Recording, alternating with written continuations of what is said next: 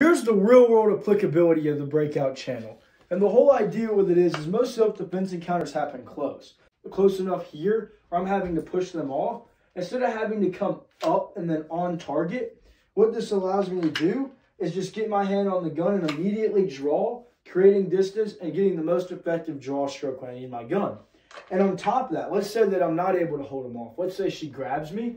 So I, I, I just will grab my arm, grab my arm where if I'm not able to draw up, if I can't draw up, the gun's not helping me, obviously, right? So what this allows me to do is still get to my gun, even if I can't move my arm. So with that being said, if you guys want to have the most efficient draw stroke and have the most options possible in the heat of disaster, shop HoudiniHolsters.com, click that link in bio, and pick up a breakout tool. I got ahead of myself. But with this being open, this is what allows you to rock that wrist and still get a hold of that gun. But you still have full security and your gun's not going anywhere. So click the link in bio, get you a breakout 2.0. I think you'll be happy that you